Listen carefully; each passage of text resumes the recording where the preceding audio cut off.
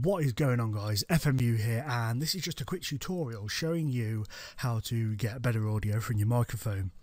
Now I'm not saying my audio is the best audio in the world by any stretch of the imagination, but if you go back a couple of years to before I got this blue snowball microphone that I'm using now, my audio was freaking terrible. And uh, when I got the blue snowball, it improved a massive amount, but still there was a, a bit of noise and stuff that I didn't like. So I used Audacity to sort of remove the noise. But the trouble with that is you don't get a consistent sound because every recording sounds different and uh, you can never really i mean you can do like save presets and stuff but you can't really to me anyway you can't always get the exact same sort of sound so I had a little look on the internet and found some fantastic free to use, free to download software.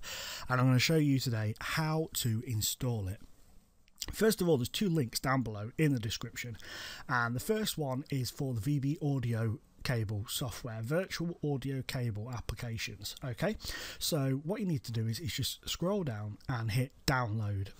Okay, and that will begin the download process for you, and then you will get a uh, zip file. So you obviously need a, a file, you know, a software package that will unzip uh, the files for you. So WinRAR, JZip, and all, uh, you know, and all those other uh, sort of, you know, softwares that you get. And what you need to do is you need to extract it and we're just going to go to the desktop. We're just going to extract it on the desktop. Okay, so extract, and for some reason, it's, I don't know why it's done that to me, but what a jerk. Then you need to figure out whether your computer is 32 bit or 64 bit, and uh, following on from that, you then need to select the right option. So, as you can see, there's two here exactly look exactly the same. One of them though, you can see there at the very top it says VBS cable underscore setup. That's for the 32-bit PC, and uh, the one underneath is for the 64-bit, which I have. So I need to right click on that and then hit Run as Administrator, and hit Yes. And it will bring it up here. Now I've already got it installed, so I don't want to click remove driver. Obviously, you just need to click install, and it will go through the install process. Okay, so that's that installed, so we can get rid of that out of the way. Yes, go away. Now we have the VoiceMeeter. So to download that, you go obviously click on the second link and it will bring you to here. And again, you just hit download there and it will obviously download yet another zip file. You open up the zip file. This way you don't have to extract it. You can just double click on it. It will come up with this here saying that is a security warning. Just ignore it. It is honestly, it is fine. Just hit yes and that will bring up this page. Now obviously I've already got it installed so I don't need to uh, to reinstall it. So I'm not going to hit remove obviously. Now okay once it's installed it brings you to here and this is your uh, audio board. Now, when it when it starts with you, everything will be on zero. Nothing will be in here. This will be flashing, and uh, there'll be nothing in there.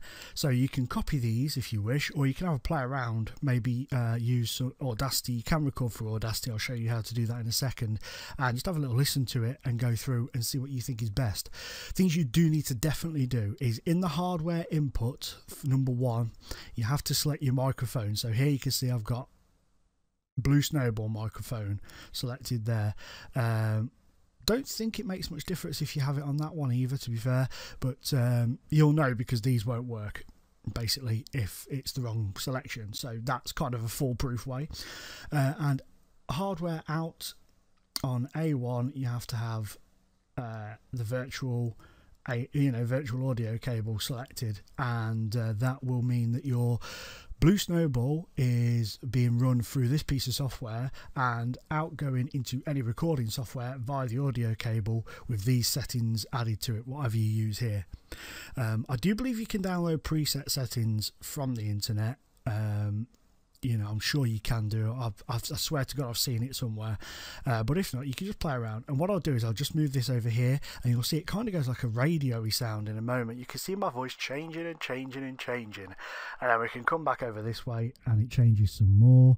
And then back up here, it will just change as we go around. I think that was about right where it was.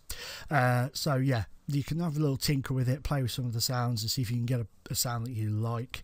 Uh, but yeah, the main basics of it, these need to be on mute and these need to be on stereo repeat. Okay, so those are the main ones, and then the rest of it you just play around with and get the sound that you prefer. So we were talking about Audacity, right? Now, if you want to record through Audacity or any program, when you get to the point where you have to select your audio input device, you need to go to the drop down list and select always VoiceMeeter output, VB, vo- you know, audio VoiceMeeter.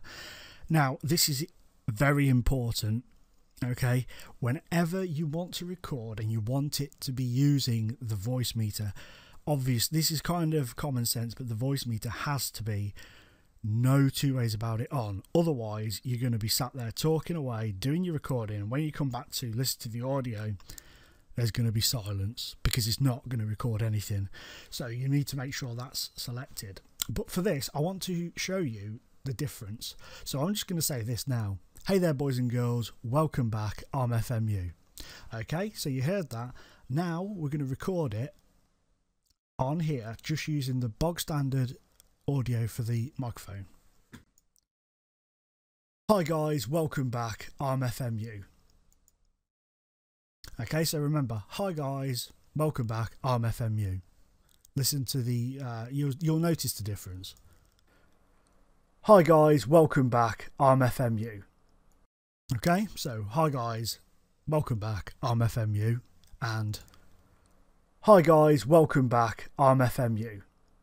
See what I mean? You can tell the difference. So that is the difference between the two. And um, to me, it has really improved my audio tenfold. It's been fantastic. Uh, really, really has improved it. So hopefully, guys uh, and girls, that has been helpful to you. Um, I try, you know, I tried to make it as simple as possible. There's nothing major to it. It's just a case of downloading the software, then playing around with it. Uh, see if you want to see if you could download some um, some preset settings. That that's pretty awesome because what you can do is uh, if you click on menu wherever you've downloaded them, add load, you know, click load settings, and then uh, just select the file and it will automatically update the settings for you. So anyway, thank you very much for watching guys. Hopefully that's been helpful. Like I say, you will probably get your audio sounding far better than mine. Uh, if you do down below, perhaps just um, you know drop a little comment on there with your audio settings, and then people could try them out. That'd be pretty cool. And if you find any really cool um, sort of effects that you can do with the voice on there. Maybe drop those in as well. The settings, people would really, really probably be really grateful. That'd be pretty awesome. But please hit a like if this has been helpful, and uh, you know, subscribe to my channel if you wish. That would be fantastic. I would really, really appreciate it. But for now, guys, it's been an absolute pleasure being in your face. Bye bye.